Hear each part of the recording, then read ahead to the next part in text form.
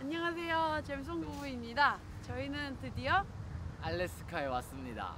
예! 알래스카에 도착하자마자 저희에게 아주 좋은 소식이 있어서 전해드리려고 합니다. 좋은 소식이 뭐죠, 전재미 씨? 2년 만에 구독자 만 명이 되었습니다. 그래서 네. 구독자 만 명을 기념해서 저희가 많은 분들이 요청해 주신 Q&A 영상을 만들려고 합니다. 네, 그래서 궁금하신 점 있으시면 이번 영상에 댓글을 남겨주시면 참고해서 Q&A 영상을 만들도록 하겠습니다. 이번에 갑자기 영상에 댓글이 몇백 개가 달리는 바람에 저희가 지금 댓글에 답변도 제대로 못하고 있어서 정말 죄송한 말씀을 드립니다. 대신 그 답변을 다 Q&A로 답변을 해드리도록 하겠습니다. 그리고 Q&A 영상이 끝나고 본격적으로 알래스카 시리즈 영상을 만들어 보겠습니다.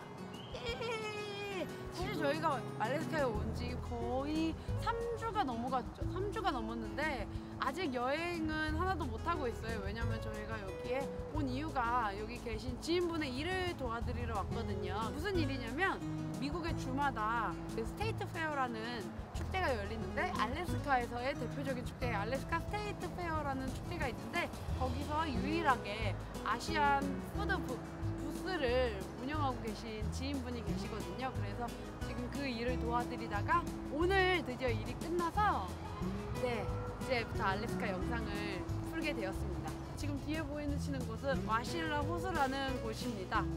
라포스 근데 여기는 앵커리지에서 1시간 정도 떨어진 와실라라는 마을이고요.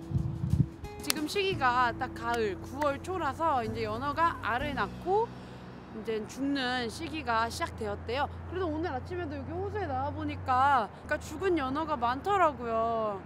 한번 연어 보러 가시겠어요? 알래스카 유명한 알래스카 연어인데 살아있진 않아요. 어딨지? 어머 저기 있구나. 어머 어머.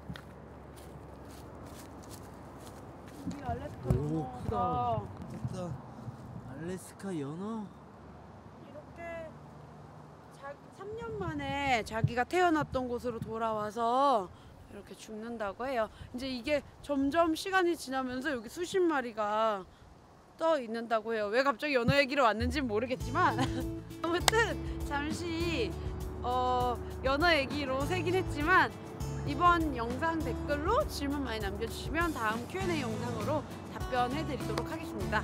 네, 이상 잼송 부부였고요. 다시 한번 구독자 만 명 감사합니다. 감사합니다. 이만 알래스카에서 잼송 부부였습니다.